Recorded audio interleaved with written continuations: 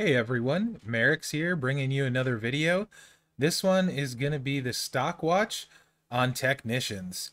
Uh, I do want to say uh, right off the gate, I know 5 Star Gold is now released. This list was done before 5 Star Gold was out. so this list is not reflecting 5 Star Gold um, changes, the stock watch but that's okay because uh, the whole idea behind the stock watch is that it's going to constantly be evolving. People's stocks will rise and fall. And uh, next month, we should have a lot of really cool options um, as far as whose stock we're buying and whose we're selling and who's went up and who's went down. So, this list, uh, stock watch list, uh, we did before um, Five Star Gold was there. So, uh, let's get started. Number one on our list was uh, Mutant Hogan, uh, Techno Hogan. I do not have him. Um, and the reason we put him number one is very similar uh, to Zombie Triple H. Once he starts going, which he does on turn one, he goes until the uh, opponent is dead. Uh, he just loops and loops for days. Uh, so extremely uh, powerful card. Um, looks awesome as well. And yeah, he's just that good of a card. We put him as our best tech uh, for his infinite uh, looping ability. Um, I'm sure if you watched my video, you saw basically what you're doing is you're constantly moving the pin bar, then you're making a five match, then you're moving the pin bar, then you're making a five match, uh, and you just keep going and going and going. So uh, he was a lot of fun to use, and he does a ton of damage. I know he's pretty rare. I'm not going to go super in depth into him, but we decided number one because of the overall power. Not necessarily speed, but power. Um, so we had him as our number one um, tech and felt like he would hold up pretty well. So with that being said, let's put the uh, the list up. I'm sure a lot of people, the ticker up here, a lot of people are interested. Dawkins was number two. Another tech I do not have. Um, he is put number two primarily for the uh, the build, the blue green green build, where you're hitting the green boot moves that are super high damage, like 400k plus, uh, and then the blue move, um, I want to say is like hits for like 50k base ish, and then uh, throws a bunch of greens out and recycles all of them. And you can start out with the green moves. You can start out with the blue moves. There's debate for that. Um, but Dawkins at five star silver uh, we had as our number two tech. And there really wasn't too much uh, or any real debate on the one or two. Uh, I think everyone felt pretty good about those. Um, and the moveset, let's see if it shows at his recruit point. Um, but it is the NBA splash. No, it wasn't. Was it? I don't think it. No, it wasn't the NBA splash. It's the spear, the exploder suplex, and the standing drop kick. I believe is the three um, uh, that it was.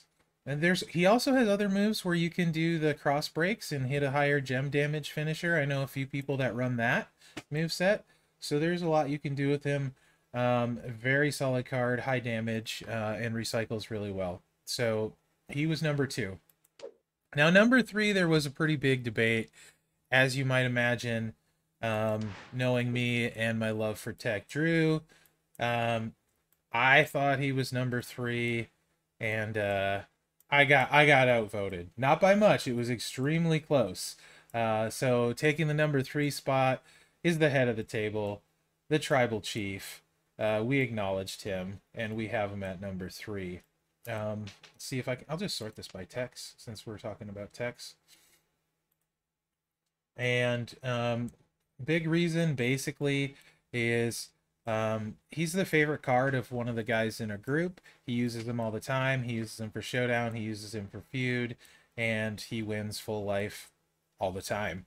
Um, so it's hard to argue with those results. Um, at uh, five star silver, he's doing the um, the break move, the destroy, and the two reds, the trap gem and the hell steel, and that's how he runs him at five star silver. Um, here we go. Finally figured out where techs were on my roster. You can see my Roman I'm working on. I plan on taking him up. He's amazing.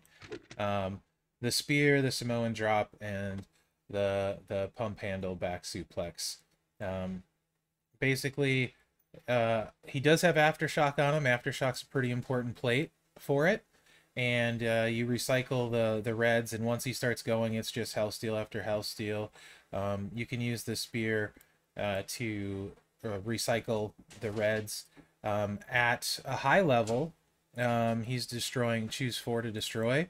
So what really makes him good before five star gold when that goes to five is if you have Ivar for a coach. I do not, but you would you would want aftershock on him and running him this way. Um, five star move as a sub. There's yeah, I, there's some debate. You could maybe use the sub some too.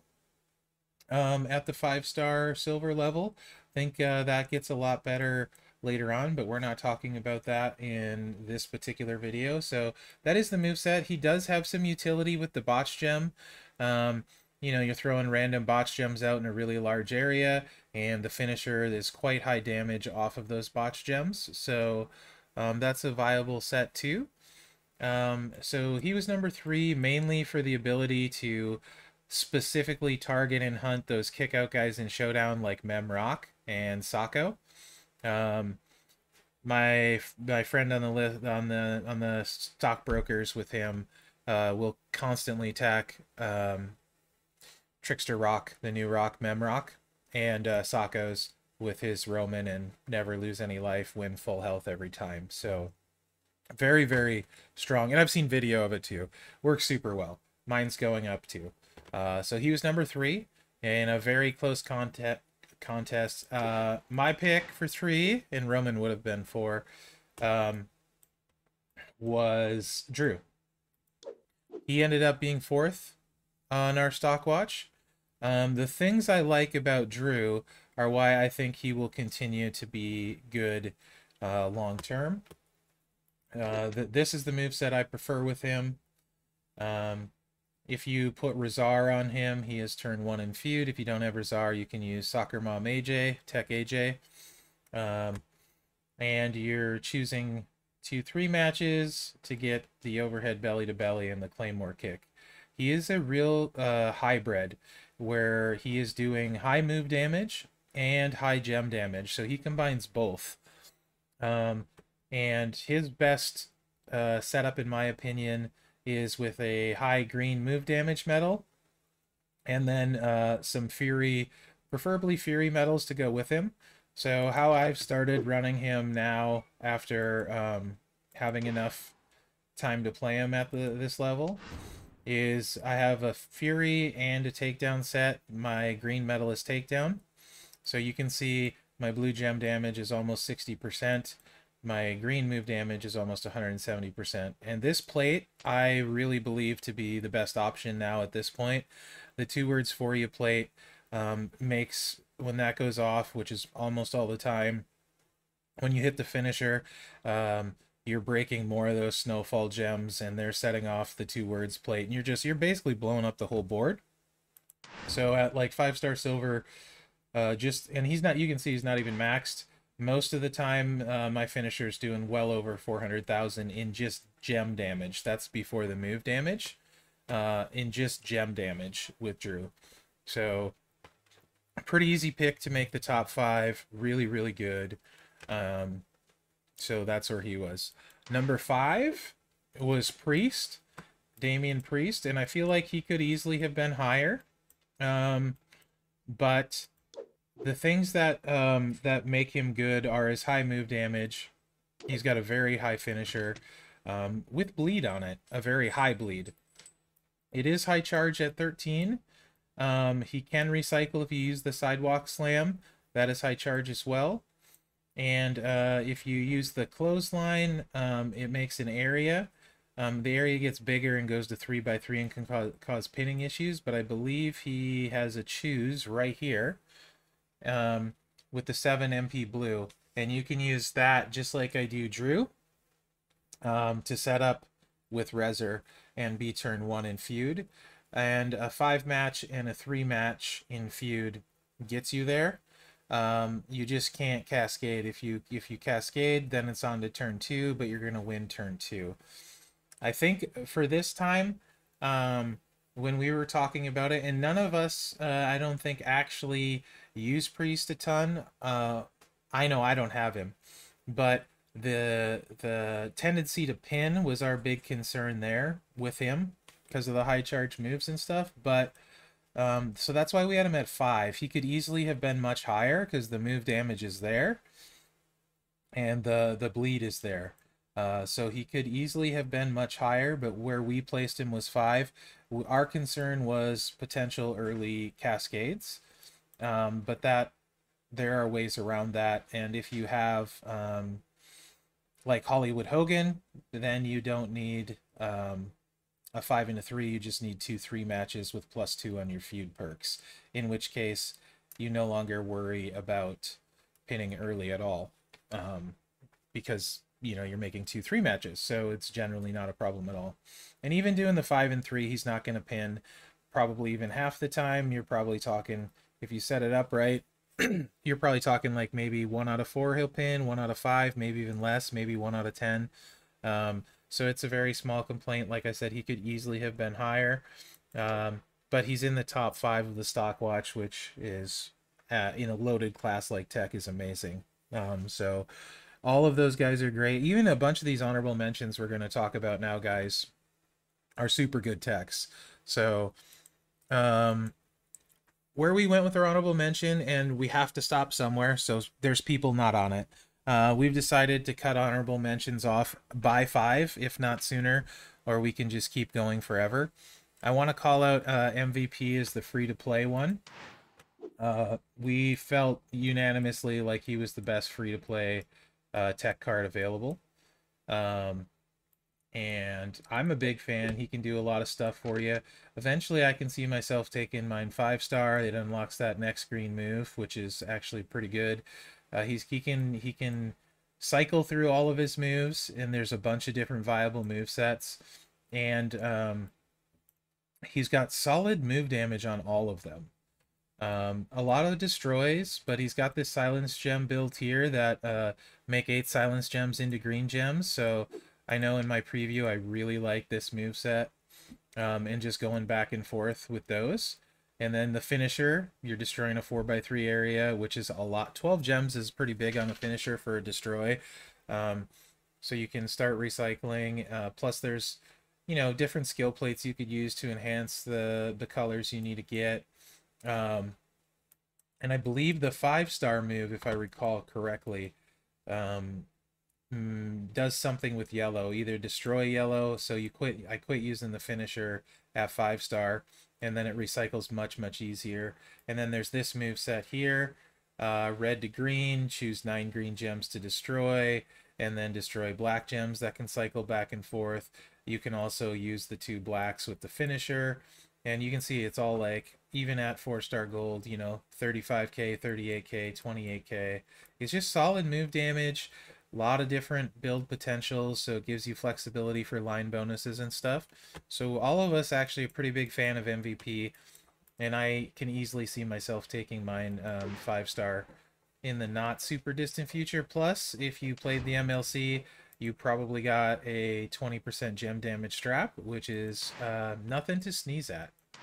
So that was our free to play mention, MVP. Great card to take up if he is indeed your best option. You can see he's fairly high on my tech list. No, that is not my steamboat. Um, so, some of the other honorable mentions. I do not have Kofi. He was certainly there. Big argument for Kofi getting into the top five. Um, and it was it was it was fairly close. Um, Kofi with the one MP moves and the buff move and the honky tonk man plate. Uh, the fact that he can showdown and feud, he's super versatile. Um, he could have been in there. I mean, a lot of the guys on the honorable mention list could have. Kofi, High Chief, and Cena all were talked about for that fifth spot. Um, there's basically eight techs that are really, really good and could be in in in your top five future proof techs. And those, you know, there's you have to make a decision. Anyway, Kofi can do a lot of stuff for you. He's got he's gonna buff his his the strength of his gems is gonna grow. He can feud. He can showdown. It's a one MP move, so you don't need an MP trainer. There's a lot to love about Kofi. Um, So uh, he was one of our honorable mentions. Um, then we move on to um, High Chief Peter Maivia. I know a lot of people don't know a ton about the uh, High Chief.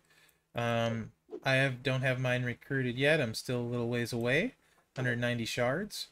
But he can do a lot of stuff. He's got a pretty strong finisher, green finisher. I want to say at uh, five star silver, it's around 150k.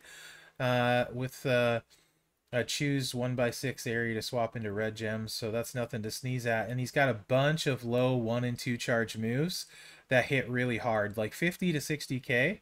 Um, so he can bust out a bunch of moves really quick. So like a two words plate on him, um, and you're just going like back and forth uh, with your moves, and you're getting um, cross breaks on the board you know, you get to the finisher, you can do that. At five star, he's got a really nasty sub um, that can do some stuff for you. So just really good versatility on him. Legend era tech, the, the best legend era tech.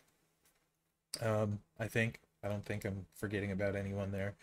Um, it's got a gem damage increase that can do some stuff. And when these when this 2x2 random area into purple gems hits another purple, it, it gets ridiculous really, really fast. Um, because you got buff move and you got the hip throw to go back to green. You can it it can end up getting pretty crazy. So he there was talk uh, for him in the top five. Um, really really solid tech, really good card, um, and a legend era. So it's always nice to have those legends. Okay.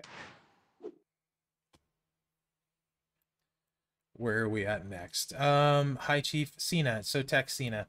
Um, Tech Cena was my first five star silver.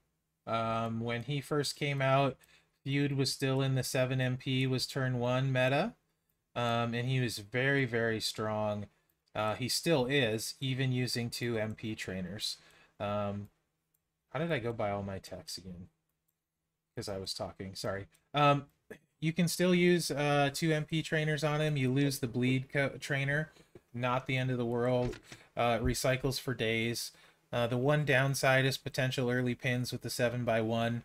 Then you hit the uh, the sub and you reload the reds, and you're just looping it. You're looping it for days. Um, you're you're subbing, you're bleeding, you're draining, you're you're recycling.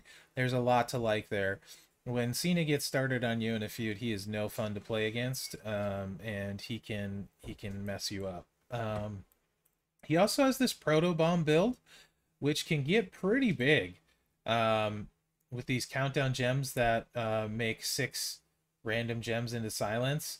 Uh, you get a lot of countdowns on there. It's a little bit slower. It's a more of a turn two slow burn kind of thing.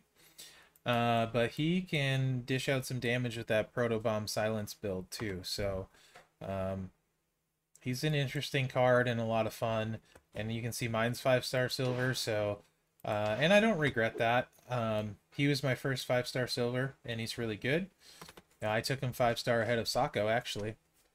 Uh, so he makes our he makes our honorable mentions, and uh, there was an uh, debate for him in the top five as well. After that, they kind of drop off a little bit.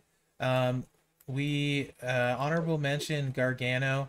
He had a short reign where him and Ciampa were really crazy with their with their showdown link with all the green gem damage. Uh, Gargano can still do a lot of things with that tag link and without it. If you buff your green gem damage, this roll up kick can get really nasty.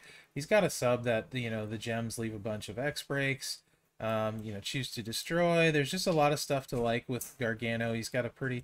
I've found with him, he's very polarizing though. People either love him or hate him, and the people that love him really, really like this card.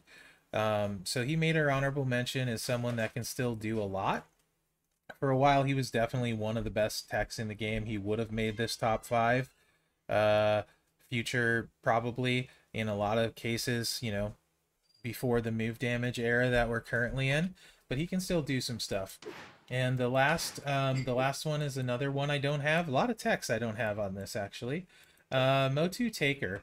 He can he can do some stuff with a lot of a lot of different things actually. Plus he's got over the top move animations. Move charges are a little bit high, but he can blow up the board. He can do a bunch of different choosing. He drops X breaks down, botch gems. Um, he's just pretty nasty too.